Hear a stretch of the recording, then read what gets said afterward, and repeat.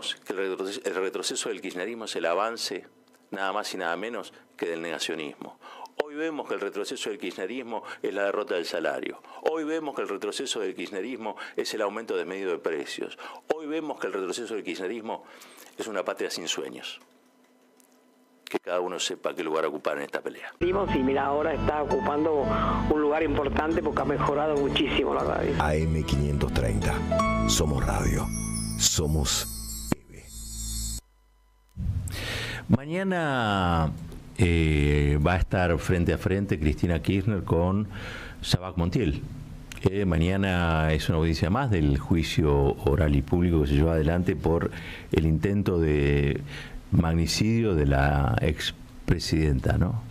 Eh, por supuesto esto viene amañado porque hay desde ya un ambiente, un clima eh, alrededor de lo ocurrido eh, con Alberto Fernández y Fabiola Yáñez, que hace que este juicio, que ya de por sí está siendo bastante, bastante invisibilizado, bueno, quede opacado, digo, la, visita de la, en este caso la víctima, quede opacada, eh, pero no va a, va, a seguir siendo, claro está, una jornada relevante, mm, sobre todo para los que venimos siguiendo este caso, que nos parece también un, testimonio muy claro del Estado de Derecho que hay en la Argentina, un Estado de Derecho frágil, casi quebrado, con instituciones que no dan ninguna certeza, ninguna seguridad, eh, y que y vemos cómo se descompone también un poco, ¿no? Las instituciones en general, cómo están descompuestas. Quiero decir con esto,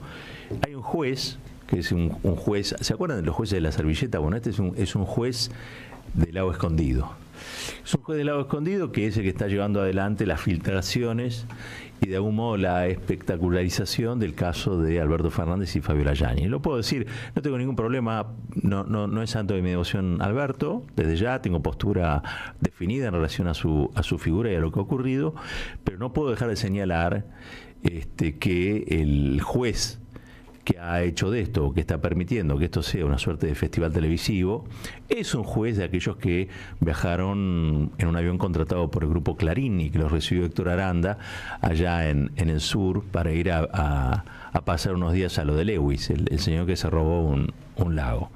Este, y la verdad es que uno piensa que si el que va a juzgar estas situaciones es este personaje y el grupo comunicacional más involucrado en la, en la difusión es precisamente el grupo Clarín, y esto tiene eh, patas de operación, cola de operación, hocico de, operación, pero no es un perro, es una operación. Y mm, las operaciones necesitan un componente de, de verdad, algo que sea cierto. Indudablemente aquí hay algo que es cierto. Lo padeció Cristina Fernández de Kirchner quien voy a reivindicar en un punto que creo pocos hacen, ¿no? A Cristina le han investigado todas sus cuentas, a Cristina le han agujereado las paredes de su casa, a Cristina le han dado vuelta como una media en todo lo que han sido los procesos judiciales amañados por estos mismos jueces sinvergüenzas y no le han encontrado absolutamente nada. Hay que decirlo, ¿no? Se decía que la familia presidencial, tal cosa, la otra, la, ex familia presidencial, y sin embargo ha sido en ese caso y durante todos los años en los que estuvieron allí en la Quinta de Olivo, un modelo, un modelo de cómo debe comportarse republicanamente una familia presidencial, en que en ese momento está mandatado por el voto popular para gobernar. No ha habido escándalos, no ha habido este, fiestas, no ha habido bailes con damajuanas en la cabeza, no ha habido el ingreso subrepticio de eh, mujeres a, los diversos lugares de la quinta, no ha habido. Lo quiero decir porque la verdad es que yo creo que también la cuestión moral cumple un papel en, estas, en estos asuntos. Desgraciadamente, desgraciadamente, el caso o el derrotero que ha llegado Alberto Fernández nos lleva a muchos ahora a descubrir, a muchos y a muchas, a descubrir que Alberto Fernández quizá no estaba en condiciones de ser el candidato del Frente de Todos, pero fue el candidato del Frente de Todos y fue el presidente de todos y de todas, ¿no? Porque al fin y al cabo llegó allí ungido por la voluntad popular. Inmensa generosidad de Cristina Fernández de Kirchner, a quien yo considero que es la persona a la que hoy en este, en este juicio se intenta eh, revictimizar. Es decir, ya no es la, víctima del intento de magnicidio, sino que ella sería como la víctima. Ella se la buscó. ¿no? Un poco lo que se plantea también en estas situaciones de violencia eh, de género. Me parece que Cristina, en todo el proceso en el que gobernó Alberto Fernández, se recluyó en el Senado. Muchas veces le dijo a propios extraños que el Senado era como un sarcófago para ella. Cumplió institucionalmente con el mandato. Públicamente reclamó correcciones al rumbo del gobierno, que era un desastre, digámoslo, un desastre. ¿eh? Un gobierno peronista eh, que a los trabajadores y a las trabajadoras les hundió el salario y los puso por debajo de la línea de pobreza desastre. Y Cristina levantó la voz.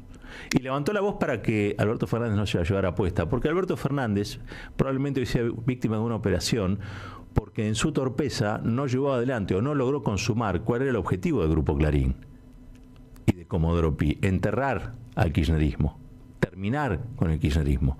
Lo dijo más de una vez en las entrevistas, en esas falsas entrevistas que eran medio off y medio on. Alberto dijo que al menos él se iba a llevar puesto al kirchnerismo, que era su contribución a la democracia republicana, porque el kirchnerismo le había hecho mucho daño. No es así.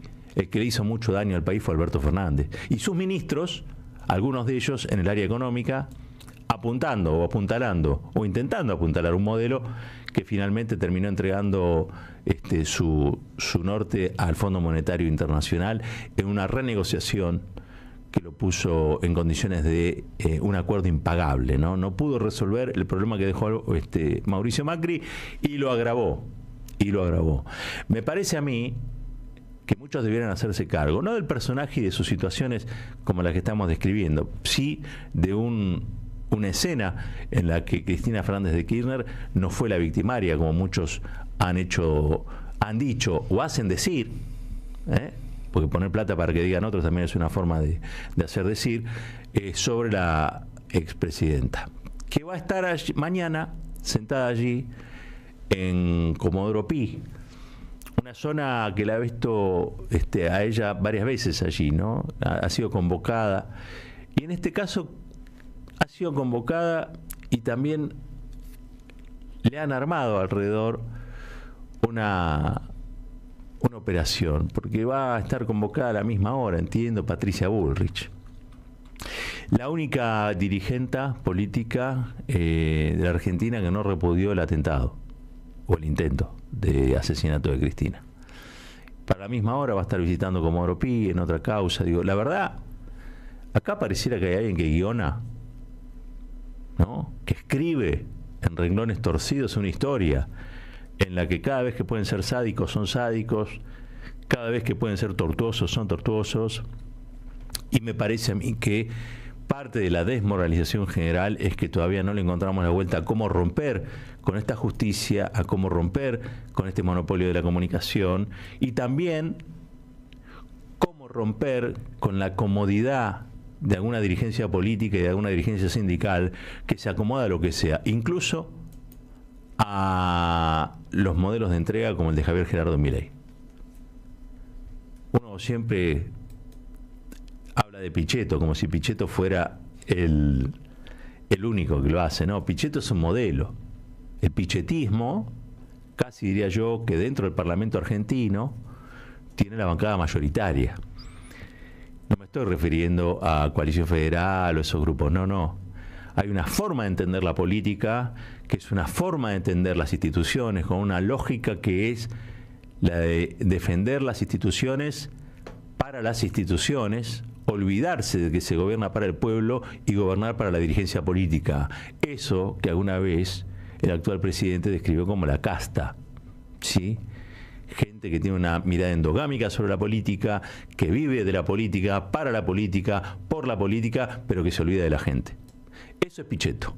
Miguel Ángel Pichetto en realidad encarna y representa un modelo de dirigencia política y también diría dirigencia sindical y también diría dirigencia empresaria, eh, que se olvidan de que este es un país de casi 50 millones de habitantes que necesitan todos los días salir a trabajar, salir a ganarse el peso y vivir con cierta dignidad.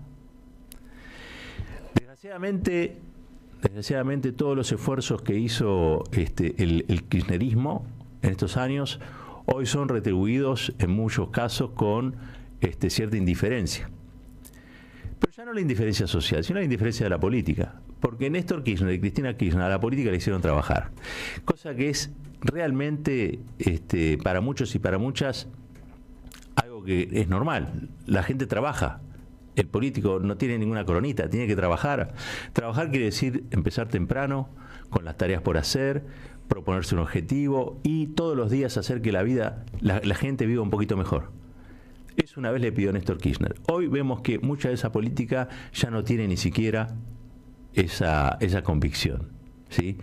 Todos los días trabajan para vivir un poco mejor ellos. ¿Mm?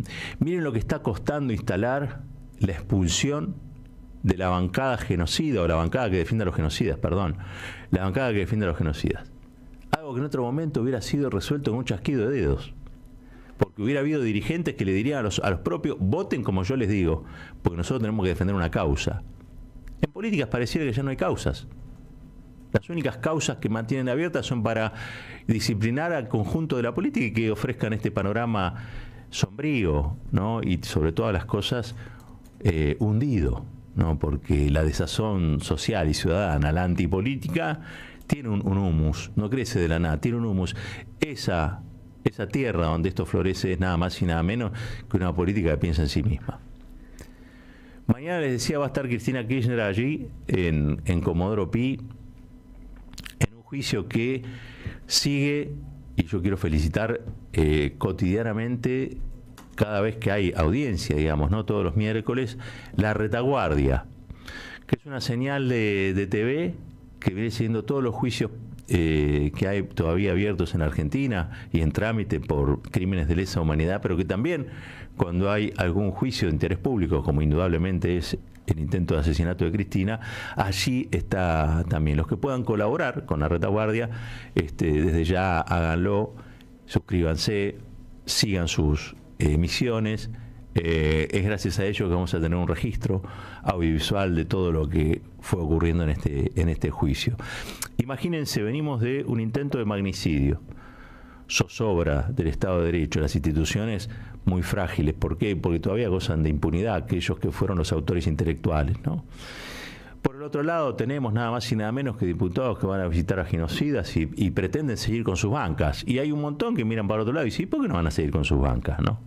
Por otro lado, tenemos a la presidenta que nos dejó el salario más alto medido en dólares en los últimos 30 años. Y la tenemos sentada en el banquillo allí mañana como víctima nada más y nada menos que de un intento de asesinato. ¿eh? Cuando uno piensa cuál es la realidad que vivimos hoy, el salario deprimido, ¿sí? y sin nadie que lo defienda, están los aceiteros solamente con Jofra a la cabeza defendiendo su salario. El resto pareciera que se entregó a que el boleto pase de un día para otro a valer un 40% más. Yo no sé qué pasó en el medio. Lo que sí soy, estoy seguro de que aquellos que quisieron o quieren derrotar al kirchnerismo o lo quieren pasar al olvido o quieren este, terminar con, el kirchnerismo, eh, están empeñados en que la Argentina vuelva a ser lo que alguna vez fue durante esa década odiosa que fueron los 90. Una década donde nos quedamos sin empresas, una década donde nos quedamos sin justicia, una década donde nos quedamos sin Corte Suprema, una década que nos quedamos sin trabajo, una década en la que la Argentina retrocedió inmensamente. Y sin embargo, algunos hoy la miran con añoranza. Vaya a saber, ¿no? ¿Por qué? Y precisamente quizá, digo yo, porque no todos en esa época la pasamos mal. Algunos la deben haber pasado bien, algunos la deben haber pasado muy bien. Como ocurre hoy, algunos la pasarán bien y otros la pasarán muy bien. Pero hay un proyecto político que yo creo que es el que es necesario reivindicar, que ha trabajado para que todos la pasen mejor. La verdad es que durante esos años felices a la Argentina le fue mejor en su conjunto. Ganaron los empresarios, ganaron los trabajadores, ganaron las pequeñas y medianas empresas, ganaron la gente que hace cine, ganaron la gente que quiere em, este, desarrollar ese, científicamente un producto, ganaron prácticamente todos.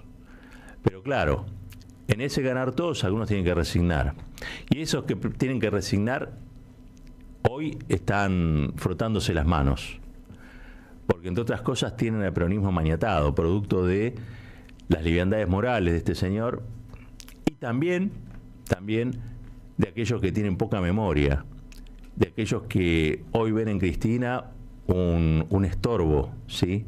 porque pretenden otras cosas para el país, que no son la transformación, que no es la justicia social. Lo que pretenden para, para este país es que la Argentina pase a ser una colonia, una colonia donde algunos estén acomodados, otros directamente la estén pasando mal durante mucho tiempo, pero nadie piense que eso se, se puede cambiar. La peor derrota es pensar que esto no tiene cambio. La peor derrota es pensar que esto ya se acabó. Alberto Fernández lo dijo más de una vez, quería derrotar al kirchnerismo, quería enterrar esa pasión. Hoy vemos que el retroceso, del kirchnerismo es el avance nada más y nada menos que del negacionismo. Hoy vemos que el retroceso del kirchnerismo es la derrota del salario. Hoy vemos que el retroceso del kirchnerismo es el aumento desmedido de precios. Hoy vemos que el retroceso del kirchnerismo es una patria sin sueños. Que cada uno sepa qué lugar ocupar en esta pelea.